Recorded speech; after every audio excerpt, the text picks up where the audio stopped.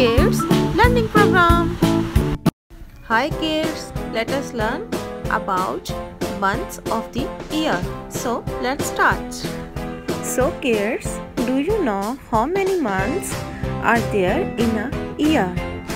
Hmm. There are 12 months in a year. First month is January. Second month is February Third month is March. Fourth month is April. Fifth month is May. Sixth month is June.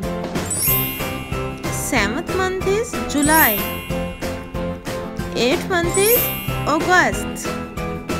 Ninth month is September. Tenth month is October. 11th month is November. 12th month is December. Let's learn quickly.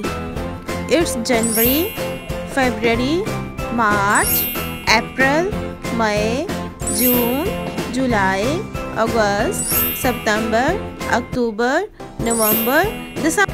Let's learn more quickly. It's January, February, March, April, May, June, July, August, September, October, November, December. Hope you have liked this video. Like, share and subscribe for more videos. Thank you.